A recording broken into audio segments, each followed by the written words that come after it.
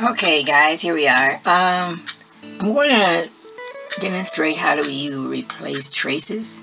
These lines here that go from like uh, point A to point B, they're like traces. So, you know, like they're it's actually they're like flat wire really going from one point to another on a, on a clad board.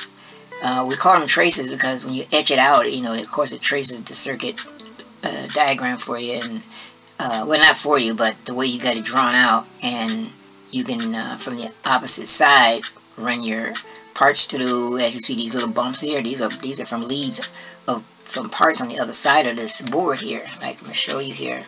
Right on the other side of here you have all kinds of uh, parts there and they're stuck in the board from the top and then when you get to the bottom their leads are showing you know uh, cut off there and they're in, in order to attach them to the traces we just solder you know, like like this hole, these holes are empty.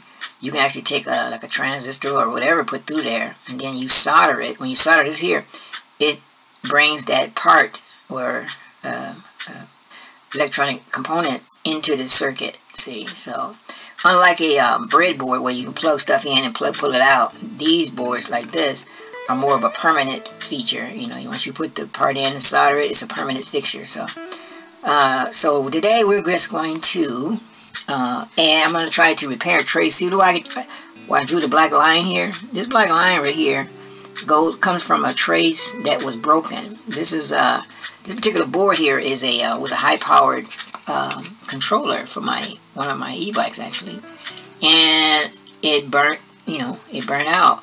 The trace got burnt, and when a trace burns, it, it, it, acts like a fuse. It, it just you know breaks the circuit. Of course, if the circuit breaks uh, then uh, the, the, the whole component does you know doesn't work anymore. So you have to either get in there you know replace the trace or something like that. So today we're going to show you I'm just going to show you how you can replace a burnout trace. This trace right here is was burnt out. It will broke loose. I just cleaned it out a little bit and as you see here this is where it's supposed to go it's supposed to let here supposed to go from here a line supposed to come from here all the way around here and went into this part here this is a, a socket for like a, maybe like a power transistor or something like that.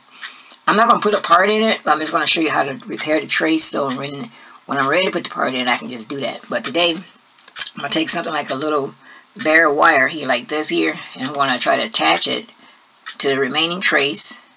Uh, and solder it in place. Then I'm going to continue to cross over to this part of the trace, solder it in place, and then clip off any excess. Um, I'm trying to think of something I might be forgetting to say here. I'm trying to remember. Uh, oh yeah, so like um, once that's done, the circuit should go back to functioning as normal. And um, you know, because the trace or track of it, you know, it's been it's been repaired. There's no more breaks in the circuit, so the circuit, you know, uh, energy can flow. So we're going to do that first. Now, what I did so far, because I didn't want to make this video too long, uh, I went ahead and scraped away uh, down to the brass. As you notice, this board looks green. Well, that's because of this coating that's got on it's green. When you um, when you um, uh, you know um, make a clad board or etching, that it's all usually copper colored, and you know uh, this coating is put on there to protect the copper uh, coating that's etched into a pattern that here. So anyway, I etched, I, I scraped away all this little green stuff coating off the the the um, was this track that wasn't burnt out so I had some connect to. So I'm going to connect, try to connect some, just connect some wire from, from the point to a clean spot there onto this point right here, which is a clean spot. And then we're going to complete that circuit. So um, that's what we're going to get started. First I'm going to turn on my solder gun. I'm going to get that heated up and I'll be right back. Okay, in this clip I want to show you how I'm going to attach this bare wire to the first contact of, of the broken trace area. I'm just going to put a little solder there. I'm going to put it right on the trace that is clean, that I cleaned already. And I'm just going to try to attach it with the, with the solder, of course. Let's see, I'm going to turn my, I have to turn my gun up a little bit. I think it's too low. Yep, it's too low. I'm turn the, the heat up just at least a little bit. Let me bring it up a little more. It's not heating up the element. Uh, and then we're going to solder it, try to solder it. Uh, iron kind of cooled off. before I knew it. So, I'll try this again. Here we go. Okay, now I'm gonna try to. I pretend this um this cop this piece of copper wire here make it easier to get it on there. Let me see if it'll work.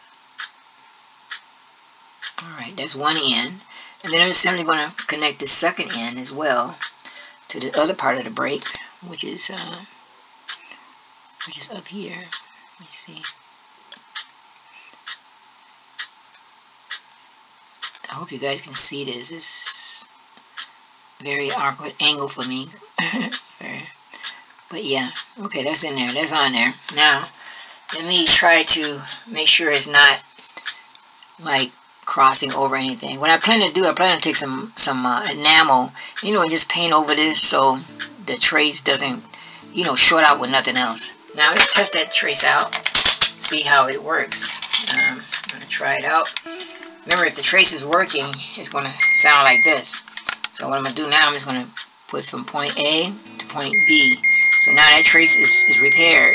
Because remember at first, we couldn't it wouldn't make a sound when, when you touch this point and this point it wouldn't make a sound at all. But because I put a new trace inside using a piece of copper wire the trace is now complete and this device is is now usable and I can put it back into its shell. Okay.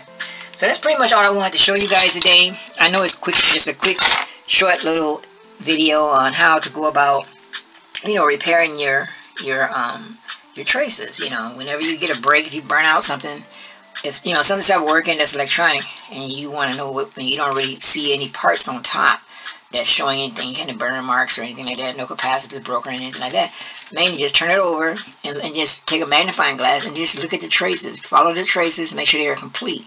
If you see one broken like the one we had here before I started you you're going to need to clean it up um, and then solder in a piece of artificial trace which is a piece of bare wire from point A to point B. And that's all you should need to do. Alright, so I hope this uh, video has been uh, educational. I hope it kind of helps somebody out there that might be wondering how to repair a trace. Um, uh, so that is it for now. I'll see you guys next time.